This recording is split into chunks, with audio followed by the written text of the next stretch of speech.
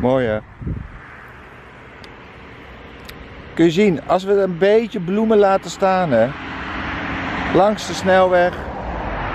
Oh, wat een mooie vlinder. Wat een mooie vlinder.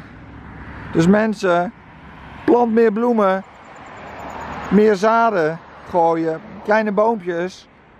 Ook al zeggen ze dat het verboden is om boompjes zomaar te planten of eh, over de geneeskrachtige werking van planten praten is ook niet goed.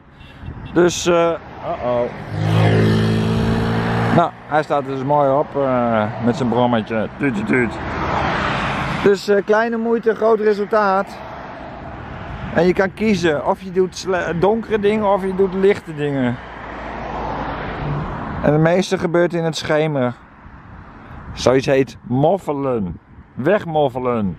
En mensen die moffelen zijn moffels. En één moffel is een moffel.